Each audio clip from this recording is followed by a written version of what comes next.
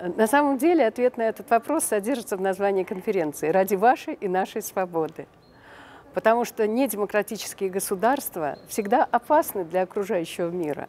Недемократические государства совершают действия, такие, как сейчас Россия в Украине. Это агрессия. Недемократические государства плохо обращаются с своими гражданами, граждане начинают убегать оттуда, и это рождает миграцию. Поэтому просто для собственной пользы, для собственного э, спокойствия нужно поддерживать демократические движения в других странах.